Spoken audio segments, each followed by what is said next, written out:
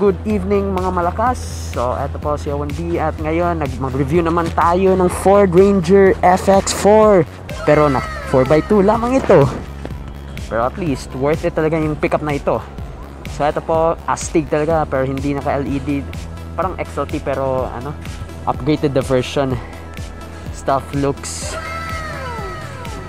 So, let's go. Eto po, it is equipped with 2.2 yung same 2.2 TDCI engine. I mean, to, yes, turbo turbocharged talaga. Sana all turbo. Then 6-speed automatic. So naka 18 inch mag. Ay, hindi pala mag. Ah, aluminum alloy pala. So parang ano, parang coil spring tapos yung likod kay yung likod ay naka leaf spring so may sport bar naman dito. And stop lugs naman as well sa likod. Eto po, yung bat, yung tatak FX4. So,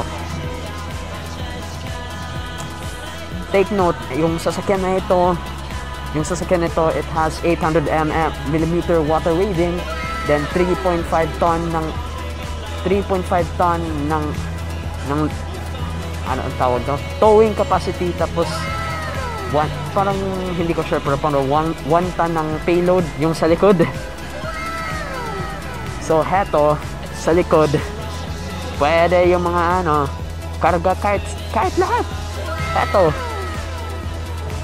pwede apat na, apat na mga bebot of apat mga cuties, apat mga chicks, makarga dito. So, ngayon, let's go in sa Astig na FX4, mga malakas. So, all power windows, yung power lock centralized as well. First seats is manual as well. Eto, papasok na tayo.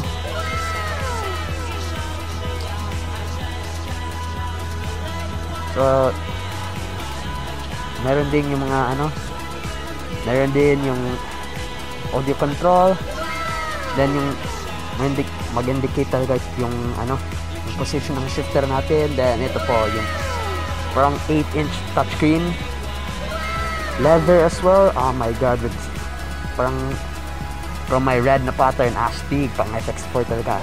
If world truck orange FX4 oh, red.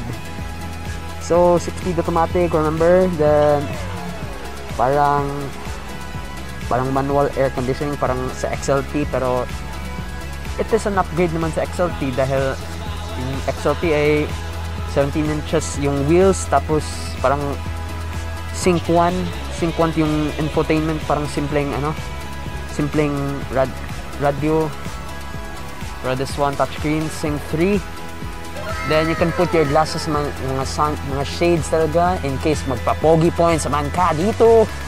Eto na pwede naman itago. Then eto. Ay may mirror. Para sa mga sa mga mam, para sa mga feeling pogi at sa mga feeling guwapa charot and of course this pick up has 5 seats leather din then my central lock as well.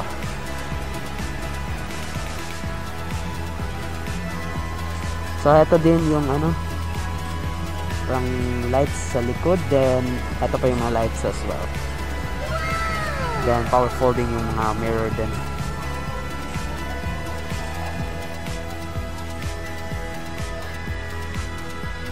Pili ko gamit lalabas na tayo. So yan. Yan ang Ranger FX4 mga malakas. We are back dahil nakalimutan ko yung price yung price ng FX4 na automatic na 4x2 anyway dito sa Butuan yung presyo nito ay 1,366,000 pesos kasali na yung mga low yung mga taxes dito sa Butuan mga low dahil magkaiba-iba talaga yung ano yung ano.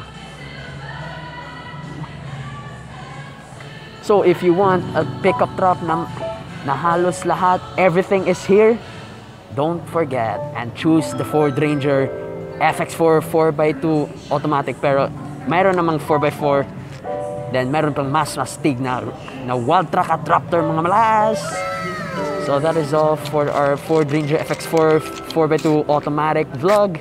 and see ya on the next. And don't forget to subscribe to my channel Owen B from Butuan. If you want to see more car reviews and any types of vlogs biking ano pa man. So heto na. See ya. Cheers